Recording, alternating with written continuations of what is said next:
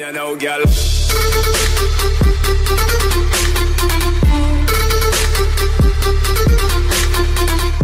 Đông Nhi Tóc Tiên đụng tông xanh trong buổi ra quân của hai team. Hai nữ huấn luyện viên Đông Nhi Tóc Tiên tiếp tục chọn trùng tông màu cho trang phục ghi hình giọng hát Việt năm 2017. Hôm nay vòng loại trực tiếp của giọng hát Việt năm 2017 đã chính thức được bấm máy ghi hình. Khác với mọi năm, vòng loại sẽ không được phát trực tiếp mà được ghi hình trước tại trường quay. Show loại đầu tiên là 8 chiến binh xuất sắc đến từ hai team Đông Nhi tốc Tiên. Không hẹn mà gặp, hai nữ huấn luyện viên xinh đẹp điều diện trang phục nữ tính quyến rũ với tông xanh.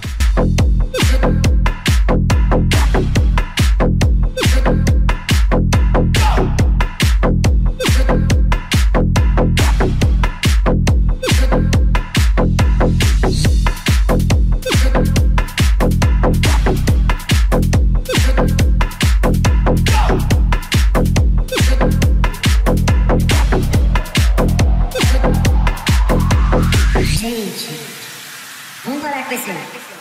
Tum, tum, tum,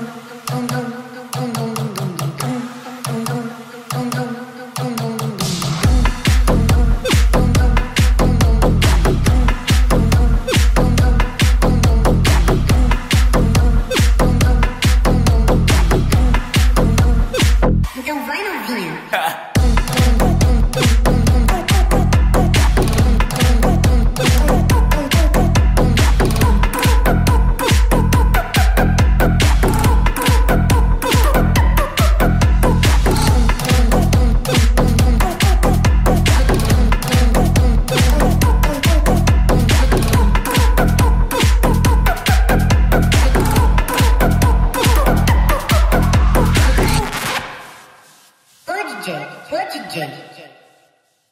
Shake it this way. Dum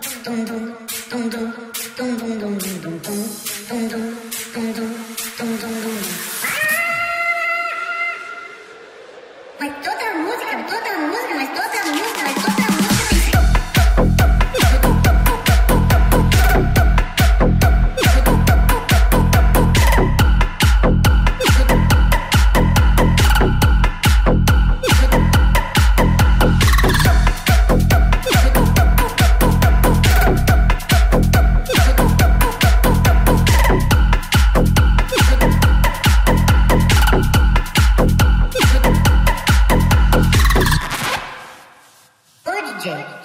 Shake. DJ.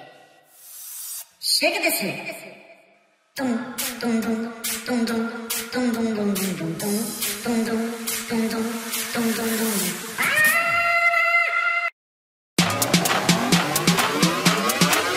Xin chân thành cảm ơn các bạn đã dành chút thời gian để theo dõi kênh của chúng tôi. Nếu thích bất cứ video nào, các bạn có thể like và share, nhưng đừng quên nhấp đăng ký kênh miễn phí để các bạn có thể theo dõi được nhiều video hấp dẫn khác từ chúng tôi. Xin chào và hẹn gặp lại.